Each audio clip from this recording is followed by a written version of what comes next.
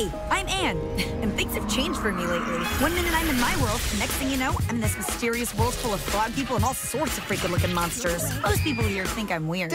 Disgusting. Luckily, I met a frog named Sprig, and he and I are quickly becoming best friends. It's fun because it doesn't hurt. Ow! I don't know when I'll get back home, but in the meantime, this world's pretty cool. Yeah, yeah. Well, let's be real. This world is messed up, but I kinda like it. Amphibia, starting Monday, August 5th at 6 on Disney XD. Spread against the world!